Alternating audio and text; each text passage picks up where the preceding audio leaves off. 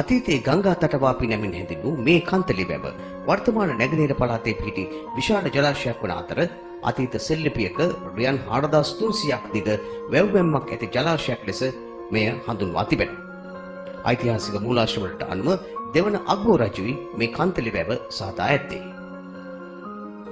කන්ද උඩරට රාජ්‍ය සභයේ කන්තලි වැව තනපිටියක් බවට පත් වූ බවත් සඳහන් වෙනවා.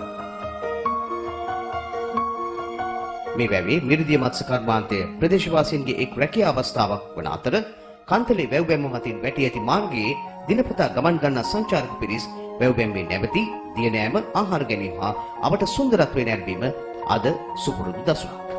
මිහින්තලේ ප්‍රාදේශීය ලේකම් කොට්ටාශයේ පිහිටි විශාලත්වයෙන් වැඩිම වැව ලෙස හැඳින්වෙන්නේ මේ මහා කනදරාව වැවයි. මේට ප්‍රධාන වශයෙන් ජලය සපයනු ලබන්නේ කනදරා ඔයේ.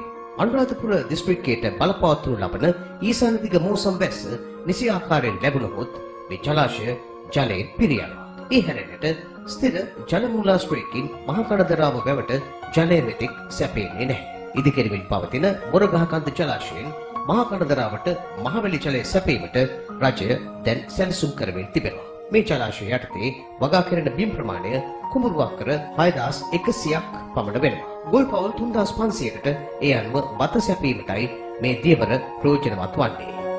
1958 දී SWRD බණ්ඩාරනායක අග්‍රාමාත්‍යවරයාව සිටි අවධියේදී ඩී.ඒ. රාජපක්ෂ මැතිතුමාගේ මූලිකත්වයෙන් ආරම්භ කළ චන්ද්‍රිකා වැව නිම කරන ලද්දේ 1963 වර්ෂයේදී. දර්ශනීය රක්වාන කඳුවැටියෙන් ගලා බසින පුලන්දා ඔය හරස්කර තල්මිල්ල කැටියෙන් නැගෙනහිරින් කිලෝමීටර් 2.5ක දිග පස්බැම්මක් හරස් කර ඉදිවුවා. වර්ග කිලෝමීටර් 166ක ජලපෝෂිත ප්‍රදේශයක් ආවරණය කරන මේ මහා යෝධ චන්ද්‍රිකා වැවේ ප්‍රධාන අතු ඇල පහළ තුංගම දක්වා ගලා යනවා. චන්ද්‍රිකා වැව මගින් පෝෂණය වන හෙක්ටයාර් ප්‍රමාණය 9500ක්. වත්මන් රජය නව සංවර්ධන ක්‍රියාදාමයේ ඔස්සේ මෙම ජලාශයේ ගේට්ටු මේ වන විට සියලු ප්‍රතිසංස්කරණ කටයුතු සිද්ධ වෙමින් පවතින අයුරු දක්නට ලැබීම සතුටට කරුණක්. ඇතුගල්පුර රාජධානි සමයේ මෙන්ම වර්තමානයේදීද නගර මාධ්‍යයේ පිහිටි වැව නගරයට අලංකාරයක්. ඉතිහාසයේ දැක්වෙන අන්දමට ඇතුගල්පුර වැව නිර්මාණය කර ඇත්තේ හතරවැනි පරාක්‍රම බහු රජතුමන් විසින්. අද ඇතුගල්පුර වැව සංචාරක ව්‍යාපාරය සඳහා කදිම පසුබිමක් බව කිව යුතුයි. දළදා මාලිගාවේ සහ රජ මාලිගාවේ නටබුන් පිහිටි බිමේ ඇතුගල්පුර වැව් පත්ලේ තිබී 2003 දී සොයාගත් කුඹුක්ලියෙන් තැනු ඔරුවක් දැන් සංරක්ෂණය කොට තිබෙනවා. මෙය අවුරුදු 800ක් 900ක් පැරණියයි විශ්වාස කෙරෙනවා. වර්තමානයේ නගරවාසීන් බීමට ජලය ලබා ගන්නේ ඇතුගල්පුර වැවෙනුයි. තමන්ට අතීතයෙන් ලැබුණු මහා උදායදයක්සේ මේ වැව සහ පරිසරයේ පවිත්‍රත්වය තබා ගනිමින් වැව ආරක්ෂා කරනු දක්නට හැකියි. කුරුණෑගල දිස්ත්‍රික්කයේ ස්වාභාවික දර්ශන වලින් පොහොසත් මේ වැව බතලගොඩ ජලාශයයි. මේ ජලාශය දික් අතට පැතිරී ගිය ජලාශයක්.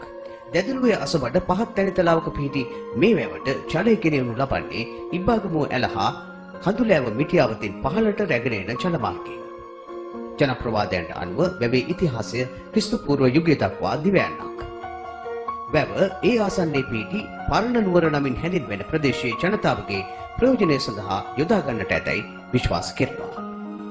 එසේම මෙහි ඇති විශාලත්වය වෙන්ම අලංකාරත්වය තීව්‍ර කරන්නේ මෙහි ඇති යෝධ වේල්ල විසින්.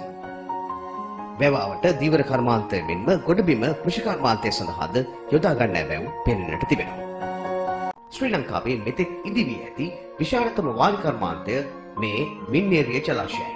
මහසින් රජු හෙවත් මින්නේරි දෙවියන් ලෙසට මින්නේරිය ජලාශය හා බැඳුණු ජනප්‍රවාදයන් හා ඇදහිලි බොහෝයි.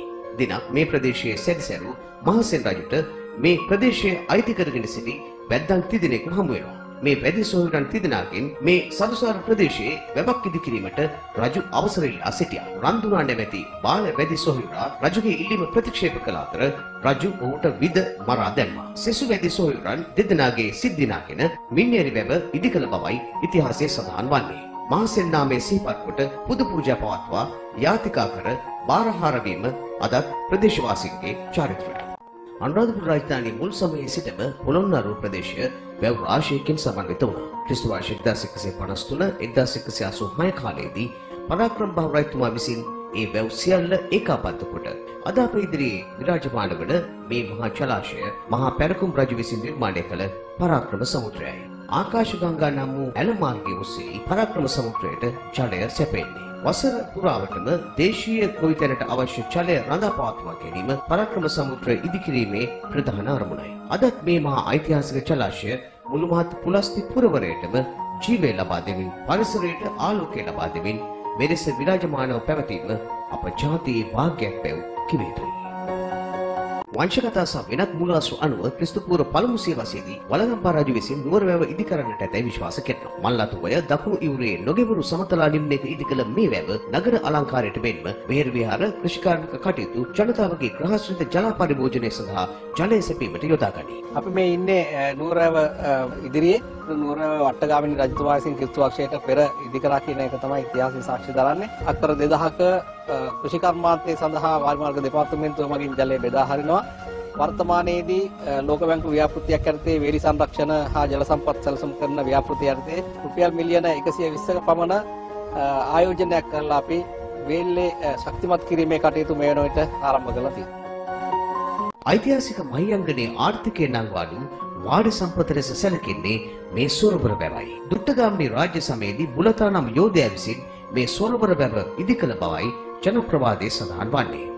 යෝධයා මේ මේ ගල් බැමි දෙක දැකලා මෙතන වැවක් බඳන හොඳයි කියලා හිතගෙන ස්වභාවිකව පිහිටි ගල් දෙකක වරෝ දෙක නිර්මාණය කරලා ජලවර සපයලා තියෙනවා. නිසංසල මහා දියකඳ සමග ඒ අසරින් ගලා යන මහවැලි ගඟ සම්බන්ධ කරගත් සිව්පද ආදිවාසීන් අතර බහුලව පැවතුණා. එනම් සුරබර වැව නොදුටු වැස් මොටද පින්කලේ යනුවෙන්. එදා ලක්දිවේ තිබුණු වැව් අතරින් හොඳම වැව් වශයෙන් බ්‍රිතාන්‍ය යටත් විජිත යුගයේදී පවා පිළිගැනුනේ මේ සුරබර වැවයි. වර්තමානයේ සුරබර වැව වාරිමාර්ග දෙපාර්තමේන්තුව යටතේ පවතින්නේ.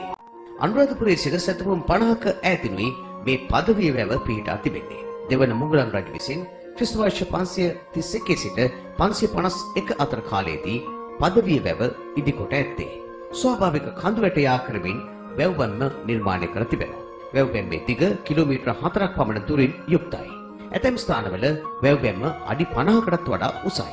මේ ජලපෝෂක ප්‍රදේශය සැතපුම් 8ක් 10ක් තරම් දුරට විහිදී යනවා. මහාවංශයේ පදවි වැව හඳුන්වා ඇත්තේ පදින්නෝරුව වශයෙන්. ක්‍රිස්තු වර්ෂ 1153 සිට 1180 දක්වා වූ කාලයේ පළමුවන පරාක්‍රම බහු මහරජතුමා විසින් පාලන කාලයේදී වැවේ වැව්බැම්ම දික්කොට වැව පුළුල් කරන්නට කටයුතු කළා. වාහල්කඩ වැව හෙළ වාරි ශිෂ්ටාචාරයේ මහිමය ලොවට කියාපාන විශිෂ්ටම නිර්මාණයක්. යකිනිකන්දත් මාහින්න කඳු වැටියත් යා කරමින් ස්වාභාවිකව ඉදිකර ඇති මේ ජලාශයේ වැව්බැම්ම ලෙස යොදාගෙන ඇත්තේ කඳු වැටි කිහිපයක්. පදවී වැවට නොදෙවෙනි මේ ජලාශය හෙළවාරි ඉංජිනේරුවන්ගේ විස්මිත නිර්මාණයක් බවයි හිටපු පුරාවිද්‍යා කොමසාරිස්වරයෙක් වූ එච්.සි.පි. බෙල් මහතා සඳහන් කරන්නේ. මහසිං මහරජතුමා විසින් ඉදිකරන ලද විශාල වැව් දහසෙන් එකක් ලෙස වාහල්කඩ ජලාශය හැඳින්විය හැකියි. වාහල්කඩ වැව මහාවංශයේ සඳහන් පැත්තේ සිරිවලස් වැව ලෙසින්. මෙයින් කුමරු අක්කර 2200ක් පමණ යලමා දෙකන්නේදී වගා කෙරෙනවා. මේ තලංගම වැව ක්‍රිස්තු වර්ෂ 1551 1547 කාලයේදී එවකට රජ කළ හයවන පරාක්‍රම බහු රජ විසින් ඉදිකරන ලද්දක්. අක්කර 95ක වපසරයක් පුරා විහිදී ඇති මේ වැවේ චලධාරිතාව අක්කර අඩි 50ක් වෙනවා. වර්ග කිලෝමීටර 33ක් 34ක් වන ජලපෝෂක ප්‍රදේශයකයි තලංගම වැව නිර්මාණය කර ඇත්තේ. මාදිවෙල, පන්නිපෙටිය, කොට්ටාව යන ප්‍රධාන ජලපෝෂක ප්‍රදේශයන්ගෙන් මේ වැව පෝෂණය වෙනවා. අප රටට ආවේනික මත්ස්‍ය වර්ග තුනක් වන මල්පෙතියා, කොරලියා සහ රැවුල් දණ්ඩියා මේ වැවේ බහුලව දැකිය හැකියි. තලංගම හා අකුරේ ගොඩ යන ගම්මානවල ගොවි ජනතාව අදටත් තම කෘෂිකර්මාන්තය සඳහා අවශ්‍ය ජලය සම්පාදනය කරන්නේ තලංගම වැවෙමි. රයිගම රජ කළ රයිගම් බණ්ඩාර කුමාරයා විසින් මේ කැස්පෑරව වැව කරවූ බවයි බොහෝ දෙනාගේ මතය. එදා බොල්ගොඩ ගඟේ සිට රට මැදට බාණ්ඩ පරිවහනය කොට ඇත්තේ ඇලමාර්ග ඔස්සේ. අද කැස්පෑරව වැව පිහිටි මේ ස්ථානයේ වක්කලවේ ජලය නතර වූ අතර හාත්පස තිබූ උස්බිම් වලින් ජලය ගලා විත් මෙහි තැන්පත් වීමෙන් වැවකට ප්‍රමාණවත් ජල ප්‍රමාණයක් එකතු වීම නිසාම මේ වැව නිර්මාණය වන්නට ඇතැයි සැලකිය හැකියි. අක්කර 55ක් ඔස්සේ ව්‍යාප්තව තිබුණු බවත් මෙහි අඩි 40ත් 45ත් අතර ගැඹුරක් තිබුණු බවත් පැවසෙනවා. කැස්පෑ පුරවරයට සම්පතක් වූ කුවියාට ධන නිධානයක් වූ මේ වැව රැක ගැනීම ජාතියේ වගකීමක් බැව් අවධාරණය කළ යුතුයි. පැරණි ශ්‍රී ලංකා ද්වීපයේ වාරි ශිෂ්ටාචාරයේ සුබ සලකුණ වශයෙන් හඳුන්වන්නේ මේ නයි පෙන හතයි. රටේ ශාස්ත්‍රීයත්වය හා සෞභාග්‍ය සංකේතවත් වන පරිදි මේ නයි පෙනහත මේ ගලේ කොටා ඇත්තේ ඌරු නම් සිටුවරයෙකු විසින්. මේ ඓතිහාසික වැව හා සොරව පීඨ ඇත්තේ මොණරාගල දිස්ත්‍රික්කයේ තනමල්විල ප්‍රදේශයේ සෙවණගල ප්‍රාදේශීය ලේකම් කොට්ටාශයේ මහගම නම් ජනපදයේ. අප රටේ පැරණි සීනුම වාරි කර්මාන්තයක්ම සංකේතවත් කිරීමට මේ නයි පෙනහතේ සලකුණ යොදා ඇති බැව් නොරහසක්. වර්තමාන මහවැලි අධිකාරයේ පවා ලාංඡනයට යොදාගෙන ඇත්තේ මේ ඌරු සිටුවරයා විසින් නිර්මාණය කළ නයි පෙනහතේ සුබ සලකුණයි.